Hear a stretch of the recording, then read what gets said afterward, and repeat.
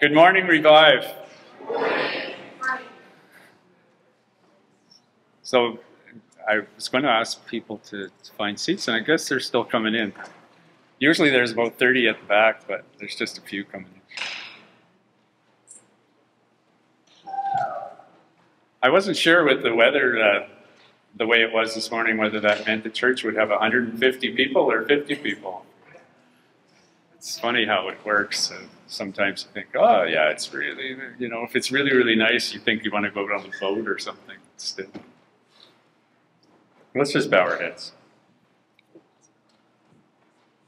Lord, we just thank you for this time that we have together today to, to worship you and lift you up. Just thank you for what you've provided for us, that the grave is not the end, that our last day here is not our last day. We just thank you for that. It just changes how we live, changes how we care for each other, and uh, just changes everything.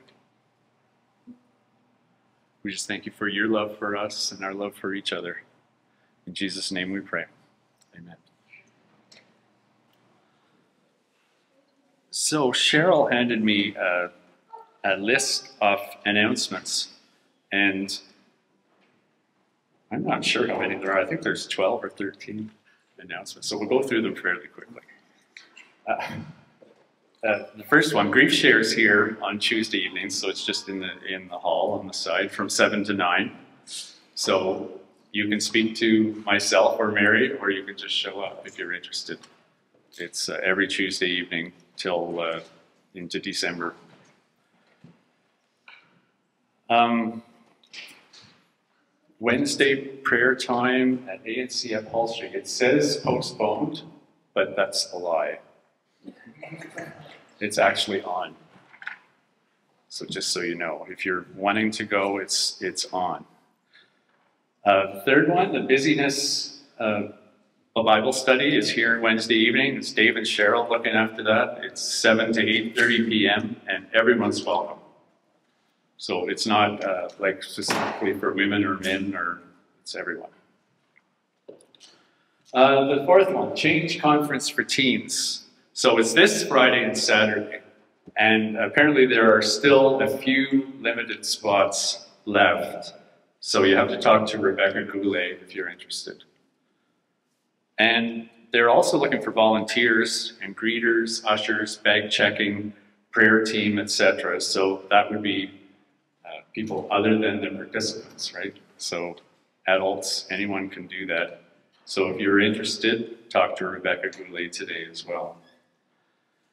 Uh, the next youth night at Kin is November 3rd, 7.30 to 10. And then this was announced last week as well, but there's a hip hop dance workshop November 1st at 6 p.m. and that's at the high school uh, in the GDHS gym. So the proceeds from that will be going to uh, the McCallums for their work in Africa. Uh, Women's Night Out this Thursday, 7 to 9, and it's across the street of the Fountain Building or the Kin, whichever uh, group you want to attribute it to. And then number nine, it's, we have a few things. Okay. God has plans for revive is what I have here, but anyway, that's Children's Church. So, yeah, just so you know the ages, Children's Church is grade four and younger, and the PBJF is grades five to eight. And they'll be dismissed later after the call to worship. Um, do, you, uh, do you have any more slides, or am I just reading what's here? Okay. So, God has plans for Revive. He's calling you to be part of it and begin by committing to pray. So pray for Mark Willick as he prepares to be our pastor in March 24. Cheryl Fast as she steps into the women's senior ministry. And she's already stepping into it. And the forming of the search committee and Wisdom for Revive as she seeks a new shepherd. And the family of Revive as she leans into and depends upon her one true And then uh, we're in a month of prayer as well for the selection process of new elders and deacons. So uh, it's important that when you're praying, you also refer to the scriptures that are listed in the protocol that uh, we have been given in the Bible to help us uh, discern who should be elders and who should be deacons. And if you are given any suggestions, you can bring them to the deacons or elders during that time period as well. And Karen shared this Saturday, and it's uh, a potluck, and it's Fast. So if you need any information, talk to Dave or Cheryl Fast. So Cheryl's right here. So.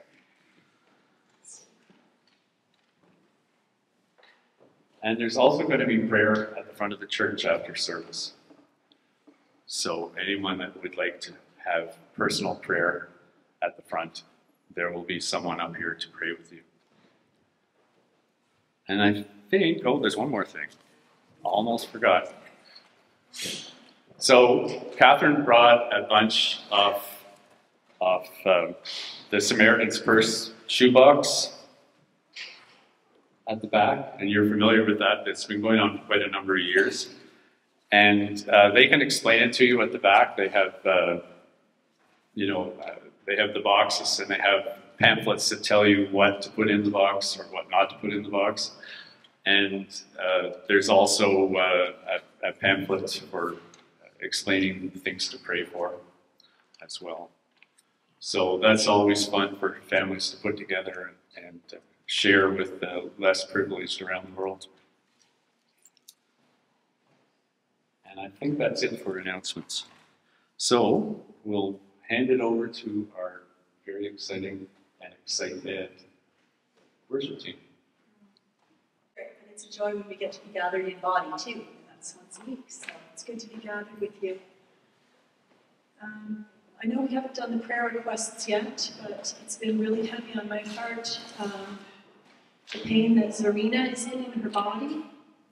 And um, so I chose songs today that have to do with Jesus being our friend, Christ as the cornerstone, and how great God is. So even though they're joyful songs, to me they're, they're us reminding ourselves of the bigness of God in light of uh, the pain. And I know Zarina's not the only one in pain in our congregation. So uh, maybe as we sing this, we can also keep in mind um, holding the tension between the reality of our lives, but the goodness of God being bigger than. So I invite you to stand and take a moment here with this, with this first slide before we start singing it, and just say, God, may our worship come out of a space of true vulnerability and trust in you.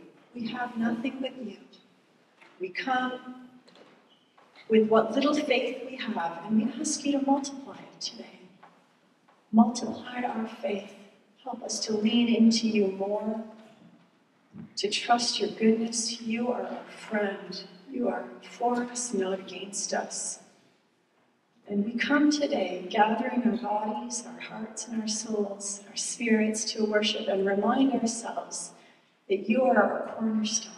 You're big, and that's what we're going to talk about today. How big is our God? How great you are. Give us faith when something wavers. And behold, Zarina and all those people who are feeling tension in their bodies today before you, Lord. We don't ignore those pains. You know them and you are familiar with them. We just trust ourselves to you. Show us the way. Yes, Lord.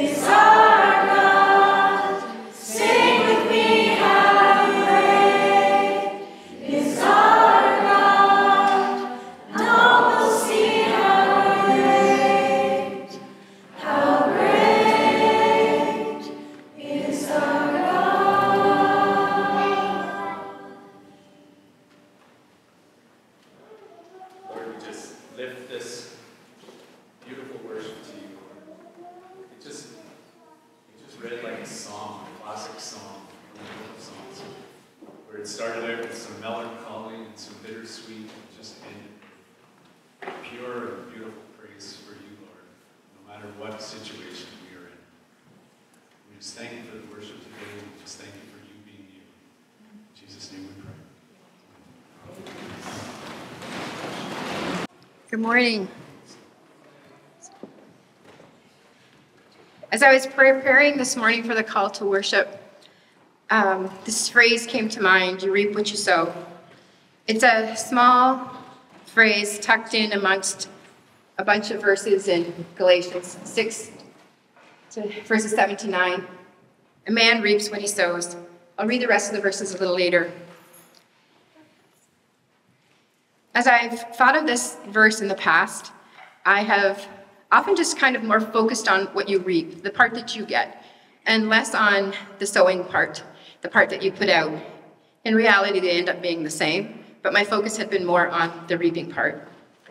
And as I thought about this, I thought of gardeners, and I don't know if you know an avid gardener, but late fall, early winter, out come the catalogs, and they start poring over those, looking for the right varieties, the best seeds. They'll prepare their garden in the fall for the winter, and then early in the spring, they're back out there getting the soil ready for those sows, and seeds they want to sow.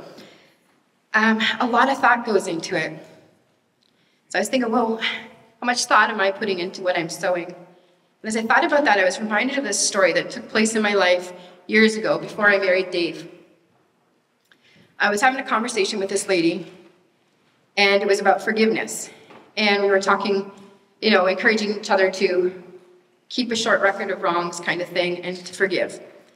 And in that conversation, it came to mind that I was holding back forgiving someone. And she asked me, Are you ready to forgive?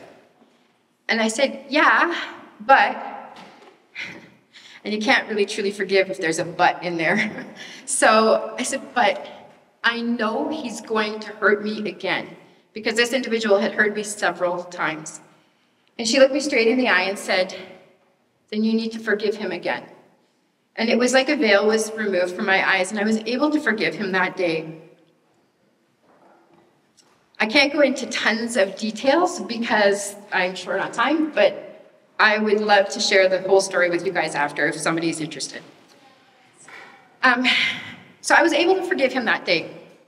But I also made a decision that day to sow seeds of love and kindness in his life. So I'm going to go back and read the whole passage from Galatians 6, 7 to 9. Do not be deceived. God cannot be mocked. A man reaps what he sows. Whoever sows to please their flesh, from the flesh will reap destruction. Whoever sows to please the Spirit, from the Spirit will reap eternal life. Let us not become weary in doing good, for at the proper time we will reap a harvest if we do not give up. Therefore, as we have opportunity, let us do good to all people especially to those who belong to the family of believers. I didn't mention this individual that I had been hurt by several times was an extremely godly man. So he was one who belonged to the family of believers. And it says to do good to all, not just to those that show kindness to us, but to all. So it was the Holy Spirit at work that day that helped me sow the right seeds. Because I could have chosen unforgiveness. I could have chosen to forgive, but then put up a wall and say, I'm just going to, ex- I'll just exchange pleasantries and I won't go deeper than that. I'm amazed at the relationship I have with this person today. Um, I was, I struggled when I was thinking about this, whether I should share who the person was, because they were, they are a very godly person. And, um, and then when I was working on this, I got a phone call from them. And I thought, I am going to share. That person who hurt me was my father in law. He wasn't my father in law at the time. I wasn't his choice for his son. and there's cultural stuff and all of that. But when I picked up the phone this week, I, Dave was right beside me, and I said, Dave's right here. I can pass the phone to him. He said, No, that's okay. I can talk to you because you are my child. And I would never have had that relationship with him, the second father in my life, if I had chose to put that wall there. But because I chose, I believe by the Holy Spirit's prompting, to sow love and kindness, I have an amazing relationship with him today. So, my challenge for all of us this morning is to take time to think about what kind of seeds we are sowing. Let me pray for us. Father God, I just thank you for your word. I pray that your Holy Spirit would be the one that helps us to see what kind of seeds we are sowing and help us to choose the right ones to sow. I pray for patience for those that sow those seeds over and over and over again, and yet they wait for that harvest. Sometimes they spring up fast and we get it soon, but sometimes we wait years for that, Lord. So help us to be patient as the harvest grows. And help us to be diligent to, to pull out the weeds where they pop up and to continue to sow those seeds. We pray these things in your name. Amen.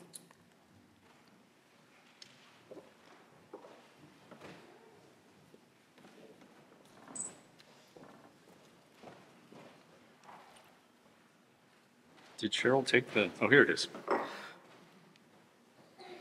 Sorry, I looked a little lost without my mic. Um, yeah, we'll dismiss the kids for school, and either Sunday school and PBJM, and I guess that, there goes half the church.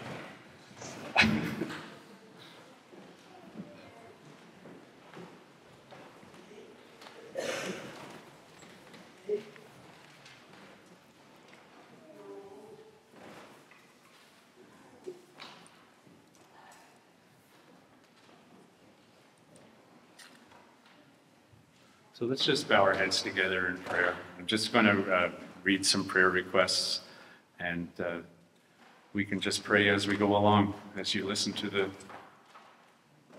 to uh, what I read. If uh, anything sits with you, especially, you can just kind of lift that up to the Lord. First, uh, Janine is asking for prayers for herself because her foster dad, Larry, passed away this Wednesday.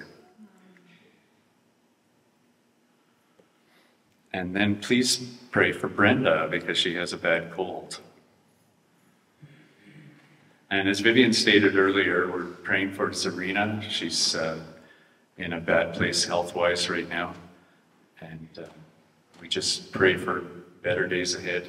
And at the same time, we'll lift up Neil McCrimmon as well, who's in the Maxville Manor and is also uh, in a very low place for his health. On a happier note, we'll pray for Hannah's upcoming wedding. And we want you to join us, as we said earlier, help us to find the pastor that you have for us. Give us vision and understanding of your plan for us. Anna, uh, she's had trouble with her hip, uh, having physio. So we'll just pray for that, the continued healing of her hip. Uh, Melina, Anna's daughter, is asking for prayer for her exams and uh, her class that she's uh, taking at university. Just that she has clarity and understanding as she uh, works through this class, and also enthusiasm to learn. And we want to praise God because Pat is getting out of the hospital tomorrow. Now, Pat would be a friend of Catherine's. So we do have a praise report. Lord, we just thank you for these people that have, have uh, brought forth their requests. And we just lift their requests and we lift these people as well up to you. Once again, I'll just say we thank you for your love for us and our love for each other. In Jesus' name we pray. Amen.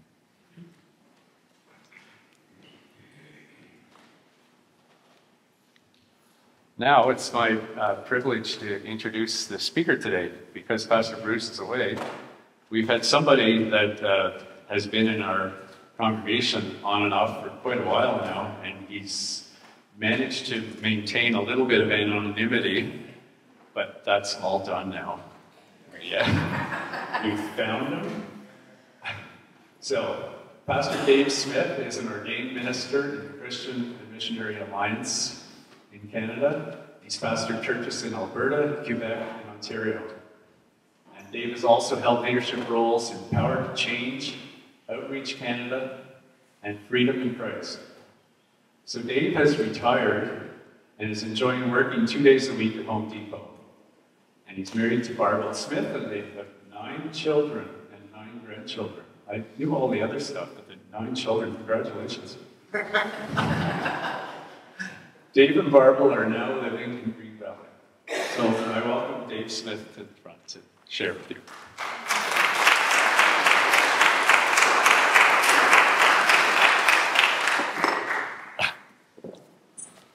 Thank you. Thank you.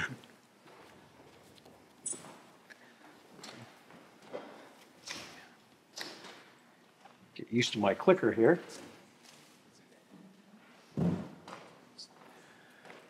Well, how big is your God? Is my question and the title this morning.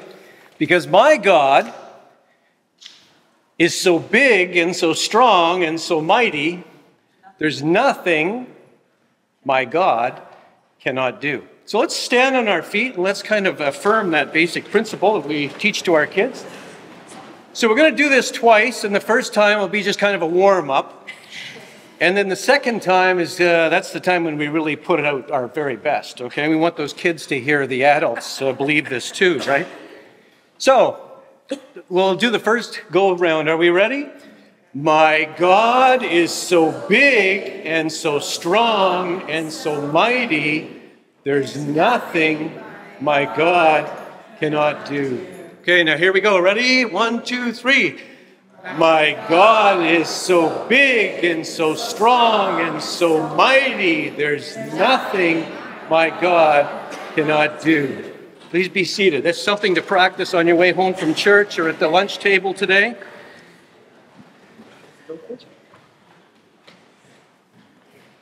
You know, we teach this important truth to our kids, but do we really believe it ourselves? Do we really allow it to sink in and permeate our being and what we truly, truly believe? Because sometimes we also need to be reminded.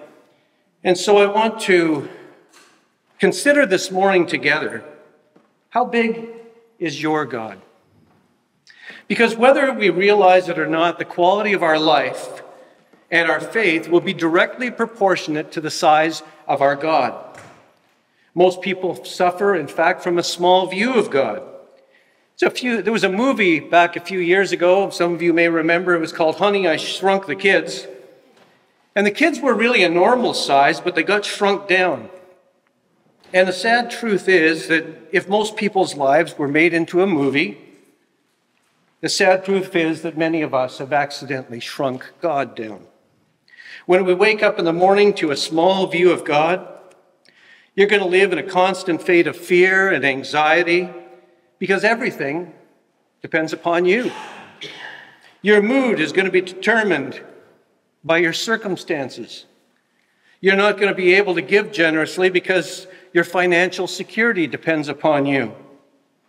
When given the chance to share your faith, you're going to shrink back because you're not able to trust the Holy Spirit to give you the words or confidence once again, because it all depends upon you. In fact, when human beings shrink God, it results in fear, results in retreat, it results in loss of vision, and a failure to persevere. A day with a shrinking God can turn into a week and very easily into a year, and in some sad cases, into a lifetime. And then we can wake up one day and wish that we could have accomplished so much more in our life because of a faulty view that we've had all along. Is your God a shrunken God? Is he a big God? Is he as big as the God in the Bible? Is he as big as Jesus? When we use this, because I don't know of another passage in the Bible that magnifies Jesus more than Colossians 1 15 to 20. Now, when we use that term magnifying God, I just want to clarify something up front that when we talk about magnifying God in the Christian context, we're not talking about magnifying God in the sense of a, mag, of, of a uh, microscope where we look at something really small and we try to blow it up.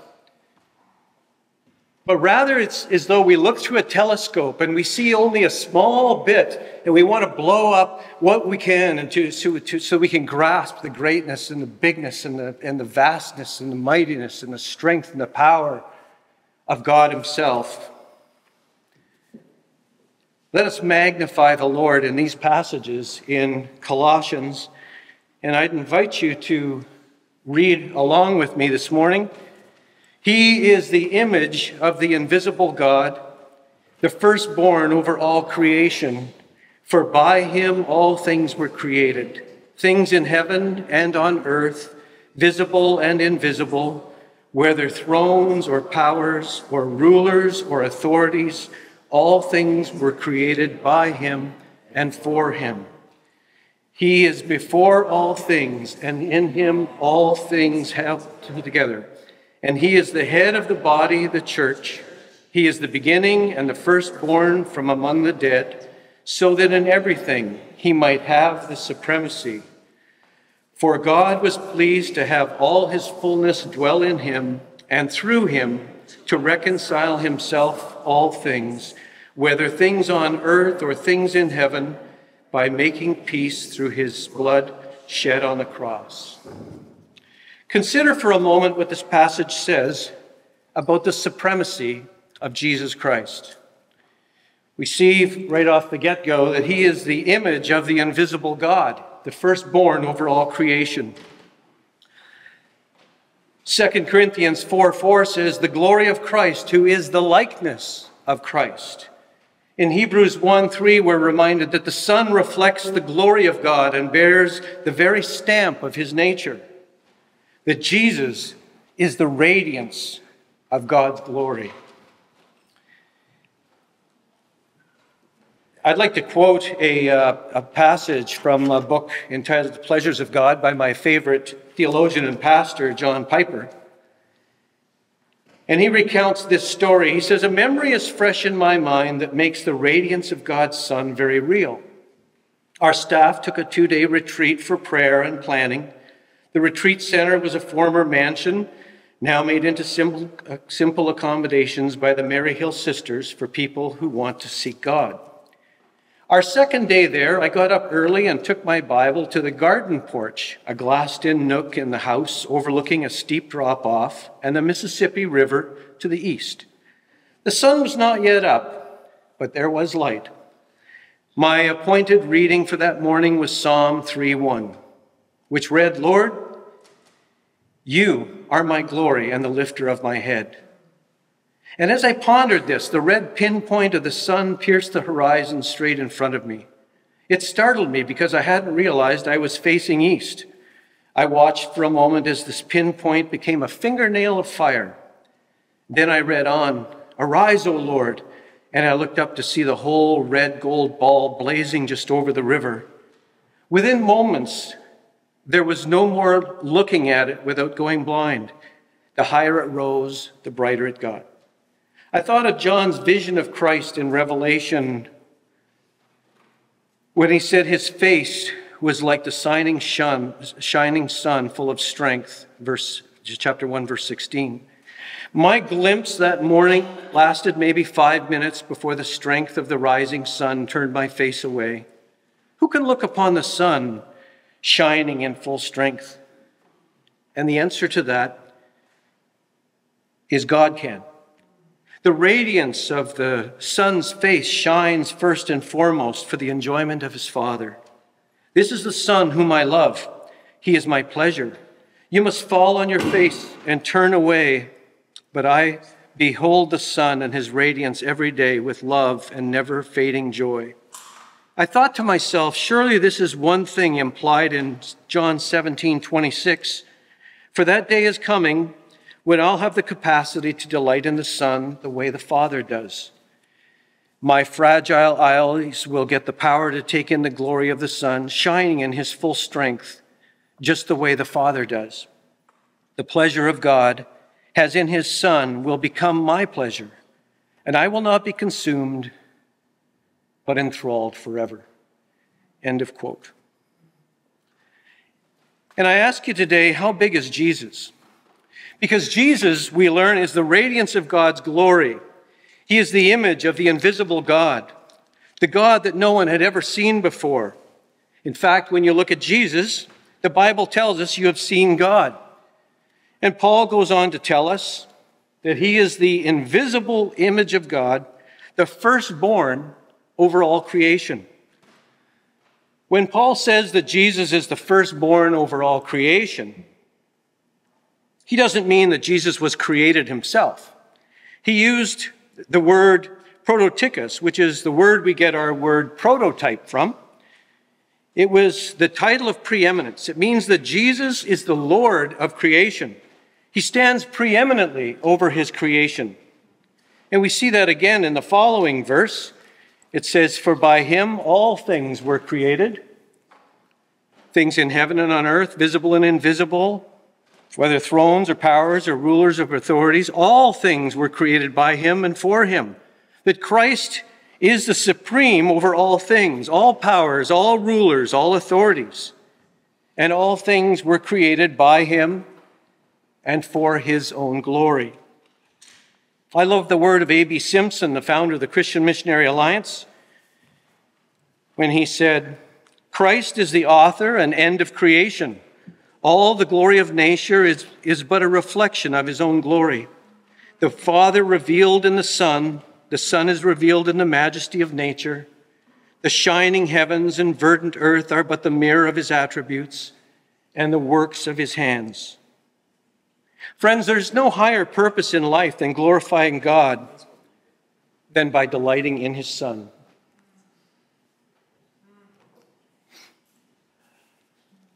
Colossians 1:17 reminds us he is before all things and in him all things hold together. So he is before all things and in him all things hold together. He's the head of the body of the church, he's the beginning of the firstborn from among the dead so that in everything he might have the supremacy. So, how big is Jesus? He is the sustainer of all things.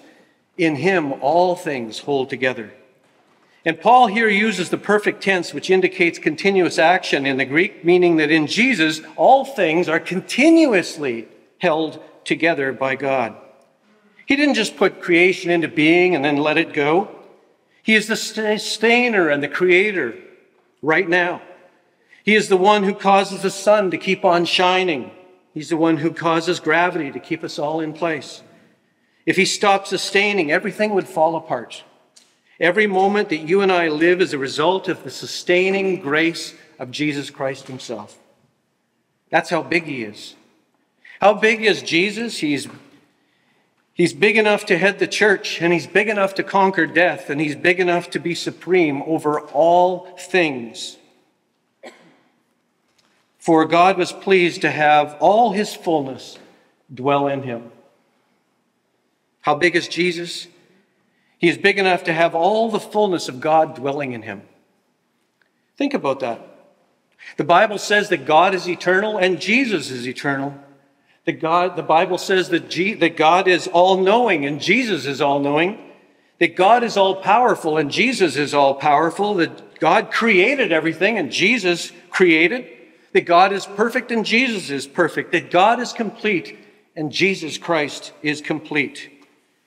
For, for God was pleased to have all of his fullness dwell in him and through him to reconcile himself to all things, whether things on earth or things in heaven, by making peace through his blood shed on the cross. How big is Jesus? He's big enough to reconcile all things on heaven and on earth and everywhere through the miraculous power of his shed blood on the cross of Calvary. We may never understand the significance and meaning of this verse. Jesus not only reconciled things on earth, on earth, but also in heaven. There's this cosmic significance to the finished work of Christ on the cross. And one day we are going to follow him, and the dead in Christ are going to rise because of how big Jesus is. He's the image of God, the Creator, the Lord of all, the sustainer of life, the conqueror of death. But the question is will you live with this big God? Will you choose to be a big God person? Will you live as one who believes there is a big God right next to you right now? This came, uh, story kind of uh, resonates with me that uh, when I was in grade four, there was this bully in grade eight.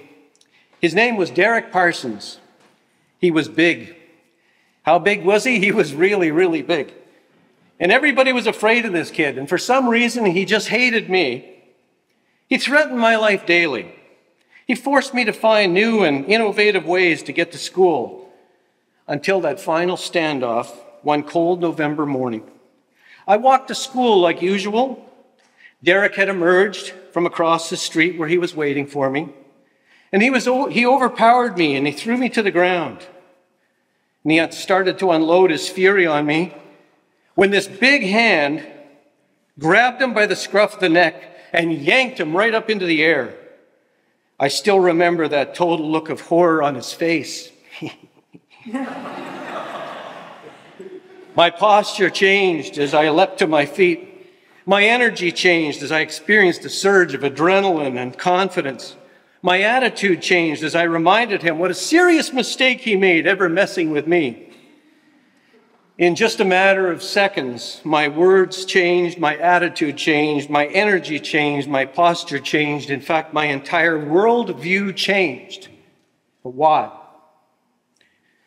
Because as a 10 year old, I had the biggest bodyguard in the world. I had Super Dad, and he was so big.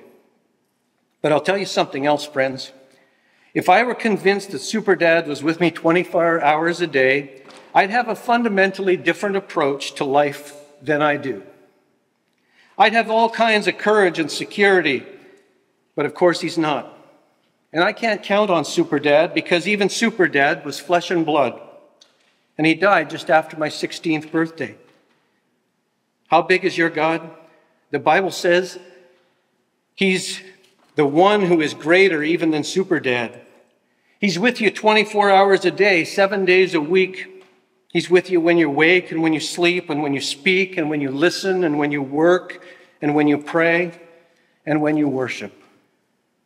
So the question is when you get out of bed each morning, are you going to live with a shrunken God or are you going to live like you have a great big God by your side? Let me share a few examples from my own life. There's been many, many stories I could share, but I'll limit it to a couple. When we were back in seminary, we had six kids at that time. We were homeschooling, and we had sold our business prior to that and had used the funds to uh, pay our way through uh, Bible college and seminary. And we were getting right near the end of the run through seminary. And uh, my wife came to me and said, Dave, we, we just can't sustain this. We're running out of money. And every month we're running a deficit of X number of dollars. I don't remember if it was 300 or $600, but whatever it was, there was, she gave me this exact amount with her accounting brain. And we thought, well, what are we going to do? And I said, well, you know, I'm, I'm in this for the long haul, and if uh, we need to take some time off and go to work and then come back to school, that's, that's fine too. Whatever it takes. And just as she had shared that need, within just a matter of a few days, we began praying about it and lo and behold, along came a couple named Larry and Suzanne. Well, I'll tell you a little bit about Larry and Suzanne. We'd only met them about three times. The first time I met them, we had a conversation, and they told me that they used to be churchgoers and they used to attend regularly and they made a profession of faith in Christ. And somewhere along the line, they wandered and drifted. And they never really found their way back to church. And I assured them that it wasn't too late. And I invited them out to church, and these folks showed up. And uh, like I said, we've, I've only seen them two or three times. And then an amazing thing happened. Larry and Suzanne, they showed up at my door. And they invited themselves in, basically. And they explained this strange story about how when Larry's folks died, they left him an inheritance. And they always felt bad that they never tithed on it or never gave anything back to the Lord when they got their inheritance. And it's always kind of nagged them. And he said that they felt God was telling them that there was a need and to come and see us. And so they came to us, and the words out of Larry's mouth was, Would you like to receive this money as a lump sum or in monthly installments? And that was a shocking question. That's not like your, here's your 50 bucks. And we said, well, okay, so what would that be as a monthly installment? Because we have X number of months to go. And we knew we had 12 months or 16 months, whatever the number of months were, we knew exactly what the number of months were. We knew what our shortfall was. And so Larry, being an accountant, hauls out his calculator and he starts punching away. And he said, well, to last for that length of time would be exactly $600 a month. And it turned out to be the amount was the exact same amount that my wife shared with me just a few days previously. Now, that is an amazing story. And I think about that, and some might call it a miracle. Could it be explained rationally and humanly? Sure. But it's never happened before. It's never happened again. It happened precisely in that length of time. And how could that be, any, how could that be explained any way other than God's direct intervention? I was amazed because God is a big God. It's not so surprising, is it? And then when we moved for a pastoral move, we made a move to Ontario from Quebec. And I remember at that time our son, our youngest one, was uh, feeling really, was complaining that he was feeling lethargic and his joints ached and, and whatnot. It took us forever coming to Ontario to find a family doctor. But uh, here he was, age five, and we finally got a, a doctor lined up. We took him in. The doctor said, Well, sounds like it could be a cold or flu. He could be uh, just fatigue going back to school. Could be the stress of a new location. Could be a lot of different things. But because I don't know him, I'll do blood work, complete blood work and everything for him. So they did that. And then the very next day, we get a phone call from the doctor's office. And the doctor said, Dave and Barb, I want you guys to drop what you're doing, pack up some overnight clothes, and bring Nathan to the Children's Sick Kids Hospital Wow, that was, that was a little bit disturbing. So we get to the doctor, and the doctor explains to us that uh, it kind of looks like he's got, there's a possibility that he has the signs of cancer at five. So we went to the sick kids hospital. They did all the diagnosis, all the tests from scratch. And within hours, they affirmed our worst nightmare. And I said, I remember saying to the doctor, Do you, uh, is this the time when we ask for a second opinion? And he said, Based on where your son's at right now, you don't have time. Because within two weeks, left alone, he'll probably be gone. And you know, through the miracles of modern medicine and a lot of prayer, Nathan just continued to, he went through all those treatments and bone marrow stuff and the chemotherapy, went, lost his hair, went through all, the whole thing. And what a huge traumatic thing it was for our whole family. And then, and they said to us, well, there's two things you got to really watch for. One of them is he may have, if he comes through this okay, he may have cognitive problems and bone density issues. And, and so he may, it may affect his growth. So we were, we were concerned. But he went through all those treatments and he survived his cancer. And after all of that, he survived his cancer. And you know what? We attribute that to the big God that we serve. And if that wasn't enough, on one of our last visits there, there was somebody extra in the room and they said, uh, We're with the Children's Wish Foundation. And we're here to grant Nathan a wish. And we're thinking, wow, that's, that's an amazing. Uh, I've never heard of the Children's Wish Foundation at that point. And they said, oh, yeah, well, we're going to grant him a wish he can do. And so they explained to Nathan. They get called Nathan over and they said, Nathan, this is your chance to have a dream come true. You're going to have a wish. And you could, you could go swim with dolphins, or you could meet a famous movie star. You could have a swimming pool at your house. Or we could buy you a Big Mac. And I stood behind my son and I thought, wow, this is absolutely amazing.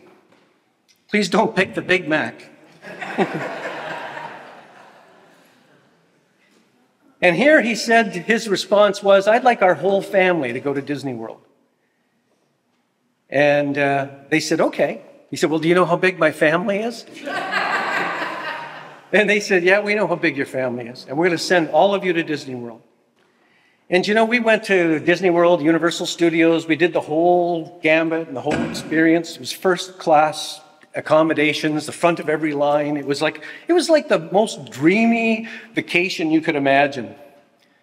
We rented cars, and, and actually, they did arranged all the car rentals. I still remember uh, in Florida landing, and we were met by one of the princesses from Disney at the airport and called out his name. We got to sit at the front of the plane. We, got, we, got, we were just treated so royally. And it was such a huge deal. Get to the front of every line. The kids just uh, had such a good time. The brothers and sisters, who some of which felt a little neglected during that time that Nathan was getting all the attention, was saying, Nathan, you're the best brother ever. and you know, in the midst of all that, here I am as a dad, thinking one day, wouldn't it be great to be able to take my kids to Disney World? And never could afford it. It probably was never not going to happen. And yet, by the grace of God, through the sickness of a five year old, what a, what a message and what a beautiful gift of grace and love given to our family. And we couldn't take any credit for it at all. It was all God because we serve a big God. And since then, we continue to seek God with the big and the small decisions and situations in our life over all these years and God never fails. And I'll tell you some of my own story to tell you that we haven't arrived, that we're in process. In fact, often have more questions than answers. But we're not fretting because we know that our God is a big God. And the most significant question on my heart right now is how big is your God? Or put another way, Will you serve and live a big, a big God in a big God church and be good, big God people? Are we willing to ask God for your needs as individuals and as a congregation? That all the needs of this church and all the needs in our community, the, all the needs in each family represented here today, all the needs in your own personal life? Are you willing to commit those to the, to the big God? You know, the past is already written, the present is full of challenges and questions, and the future is yet to be written. But here's what we do know with 100% certainty that our God is a big God, and his name is Jesus Christ. And we know, based on the authority of God's word, that he's the image of the invisible God the firstborn over all creation, for by him all things were created, things in heaven and on earth, visible and invisible, whether thrones or powers or rulers or authorities. All things were created by him and for him. He is before all things, and in him all things hold together. And he is the head of the body, the church he is the beginning and the firstborn from among the dead, so that in everything he might have the supremacy. For God was pleased to have all of his fullness dwell in him, and through him to reconcile to himself all things, whether things on earth or things in heaven, by making peace through his blood. shed on a cross. And I know there's some here today with heavy hearts and heavy bur- burdens. And some of you have big decisions and health issues and financial decisions and uncertainty and deep hurts and worries, as we've heard in some of the prayer requests even today. But God sent me here today to tell you that you're going to be okay because your God is so big and so strong and so mighty, and there's nothing your God cannot do. So please stand for a word of prayer and we're closed.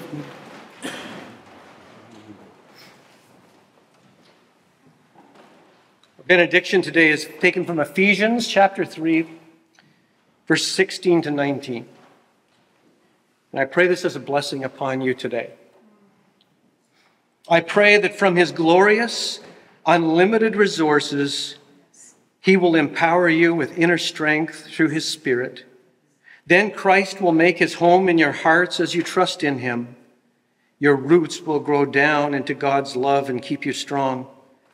And may you have the power to understand, as all God's people should, how wide and how long and how high and how deep his love is. May you experience the love of Christ. Though it is too great to understand fully, then you will be made complete with all the fullness of life and power that comes from God. Now, all glory to God who is able, through his mighty power at work within us, to accomplish infinitely more than we might ask or think. Glory to him in the church and in Christ Jesus through all generations, forever and ever. And all God's people said, Amen. God bless you.